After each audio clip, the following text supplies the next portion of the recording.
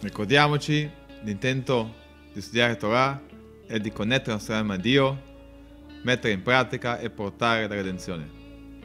Shalom a tutti. La Tereva aveva parlato precedentemente che le dieci sefirot divine, da esse derivano le dieci forze dell'anima dell'uomo. Poi la Tereva ha detto, attenzione, c'è una differenza immensa, simile alla differenza che c'è tra l'albero bello stupendo e la cenere. E dunque, le dieci sefirot che ci sono nell'anima dell'uomo, è risaputo che le, le, le midot, i sentimenti, si dividono in sette. Per cui ci sono dieci sefirot, di cui sono tre intellettuali, che sono le prime tre, e poi ci sono sette sentimentali. Adesso Altarebbe lascia le tre intellettuali per la fine e parla delle sette sentimentali.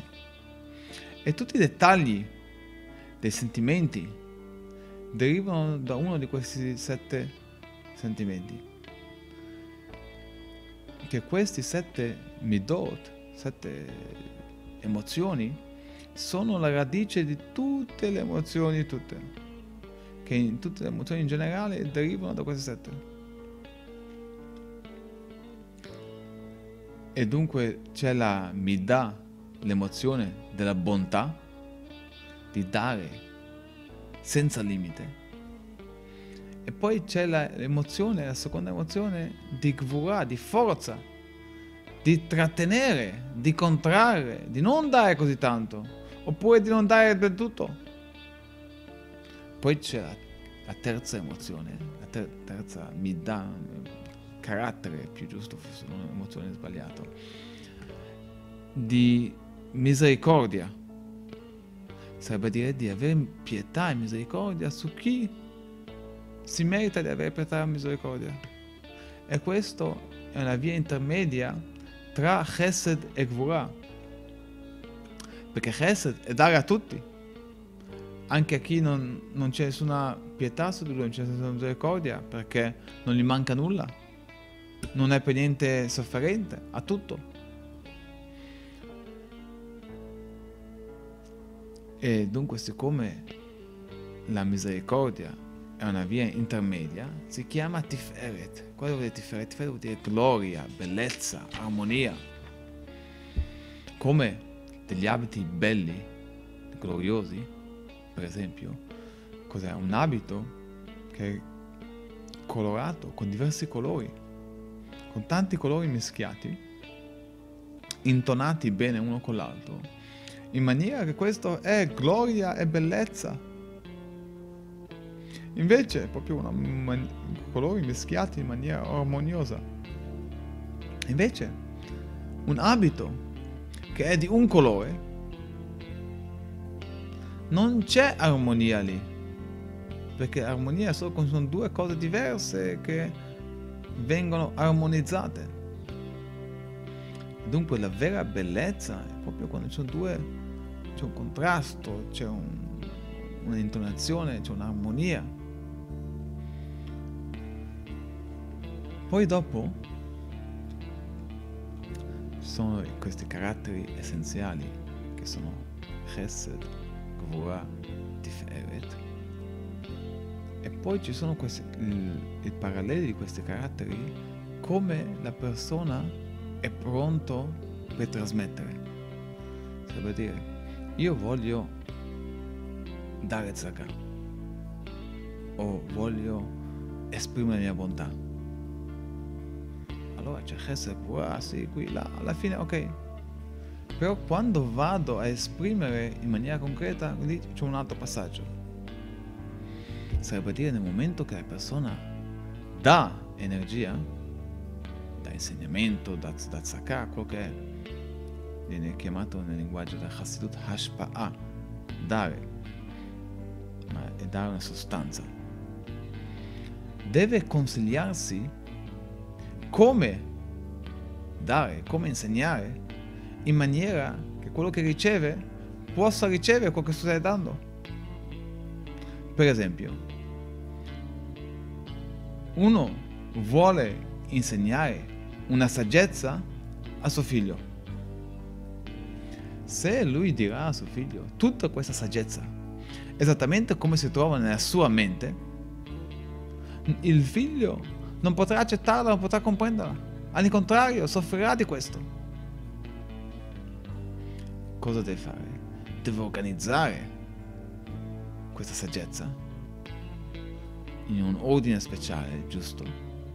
Concetto dopo concetto, pian pianino, passo per passo, secondo le capacità del bambino, del figlio. E questo concetto, questo consiglio che uno pensa, ok, questa è l'idea, adesso come la trasmetto? Questo si chiama Netzach Ehod. Netzach significa letteralmente vincere, Ehod significa letteralmente splendore. Cosa significa Netzach Ehod? Sono i paralleli ai reni che danno consiglio e anche paralleli ai testicoli che elaborano, cucinano il seme, lo fanno materializzare di più. Perché il seme, da dove deriva in origine? Deriva dalla mente. Per cui la goccia di seme che esce in origine è una goccia della mente. Sarebbe a dire il concetto intellettuale della mente, che deriva dalla mente del padre, non si può trasmettere al figlio esattamente come è nella mente del padre, che lì è molto raffinato, molto fine, ma deve cambiarsi questa idea, questo insegnamento, come è elevata e raffinata la mente del padre, e diventare un'idea che non è così astratta, che non è così elevata, che è più afferrabile, così che il figlio la potrà accettare nella sua mente e nella sua comprensione. Questo è simile al processo della goccia di seme che viene dalla mente del padre e scende giù. Man mano che scende si materializza, perché nella mente del padre la goccia del cervello è molto, veramente molto elevata, molto raffinata. Man mano che scende giù diventa più materiale, più grossolana e viene tramite i reni e i testicoli viene materializzata molto di più fino alla fine questa è una cosa che può creare un nuovo bambino anche il concetto di Netzach Ehod si chiama Shchakim Rechaim Shchakim sono uno dei sette cieli che c'è scritto che in questo, in questo cielo ci sono le macine che macinano la manna pezza di Kim. Cosa significa questo? Quando uno prende il grano e lo macina nella macina, il grano che era duro, immangiabile, si sbriciola in particelle molto piccole e diventa farina. Così il padre deve rimpicciolire il concetto intellettuale che c'è nella sua mente e la saggezza che vuole trasmettere a suo figlio e macinarla in tanti piccoli pezzettini e dirgli pie- poco, pian pianino, con consiglio, cioè pensare bene come dire, come trasmettere passo dopo passo ogni cosa a suo tempo.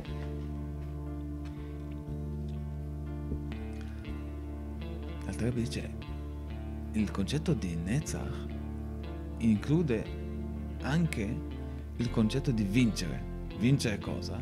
Vincere tutti gli ostacoli che vogliono fermare e bloccare questa trasmissione dell'intelligenza dal padre al figlio. Ostacoli interni e ostacoli esterni gli ostacoli interni sono di, di vincere il, la qualità di gvura, di forza, di contrazione che c'è nel padre stesso. E questa, questa qualità, la gvura, dice ma tuo figlio è ancora troppo piccolo, troppo giovane, non si merita che tu gli insegni queste cose. qui nel, manoscritto del Tanya è scritto manca. Perché? Perché non spiega quali sono gli ostacoli esterni.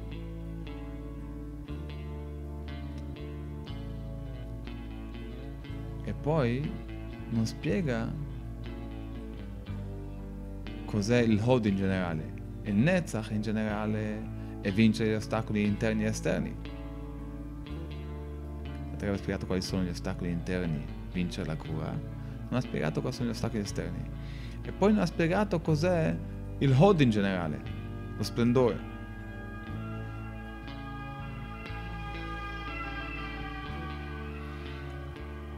Adesso al Rebbe passa a Yesod.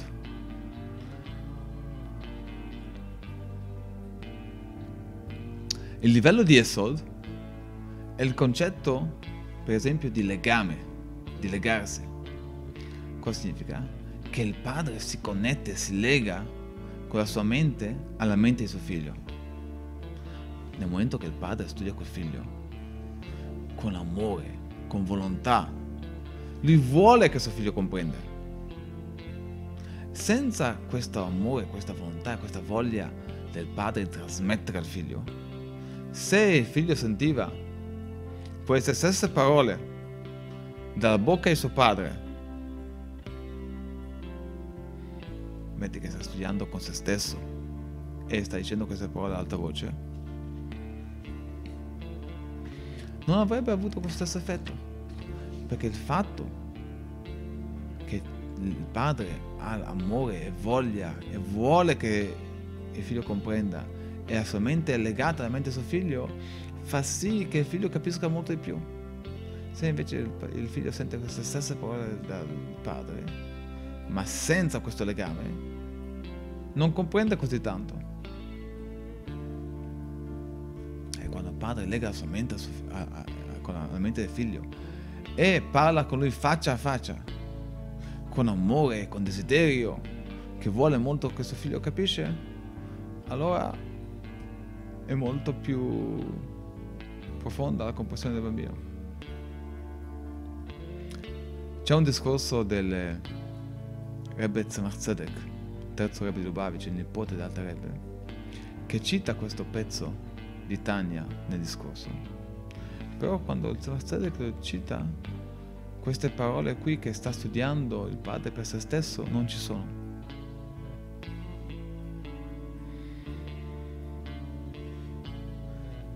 Il motivo che non ci sono queste, queste parole è perché se anche il padre non sta parlando a se stesso, ma sta parlando al figlio e sta insegnando questo stesso concetto al figlio, però manca il concetto di Esod non vuole, non ha questo grande amore, non è connessa la sua mente con la mente del suo figlio, non ha così tanto interesse che il figlio comprende. Allora il figlio avrebbe assorbito, compreso molto di meno.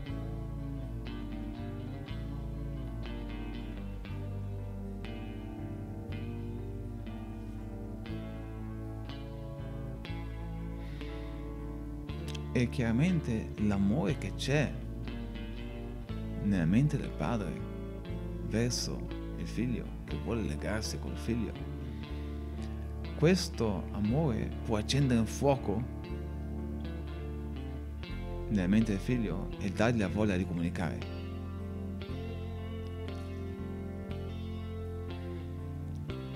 Come ognuno avrà sicuramente avuto esperienza nella sua vita che c'erano, dei maestri che parlavano con emozione. Allora era piacere ascoltare questi maestri e imparare da loro. C'erano maestri che erano molto monotoni, intellettuali, freddi. Uno facilmente si addormentava nella lezione anche se magari questo qui sta dicendo delle cose geniali. Perché non basta dire il concetto in maniera intellettuale, bisogna metterci anche il cuore dentro. E questo è il concetto di Esod, di legare la mente dell'insegnante con la mente dell'alunno.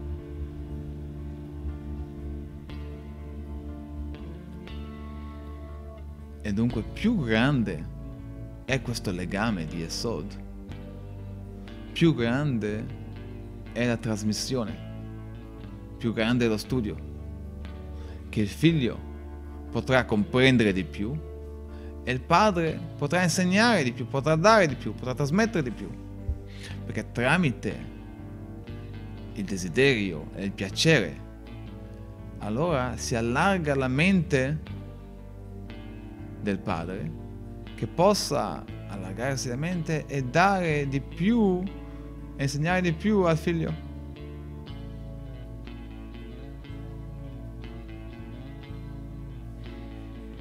È, tra, è come proprio materialmente. Il, la quantità di seme che esce dipende dal piacere e dalla voglia che c'è. E dunque tramite che c'è tanta voglia, tanto piacere, allora uno porta eh, eh, eh, più seme viene dalla mente.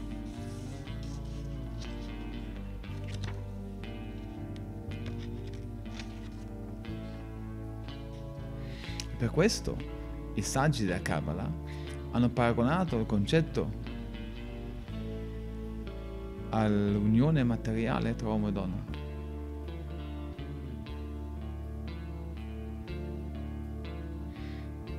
Dunque il concetto di conoscenza, di legare la trasmissione intellettuale è stato paragonato all'unione tra uomo e donna. Shalom a tutti.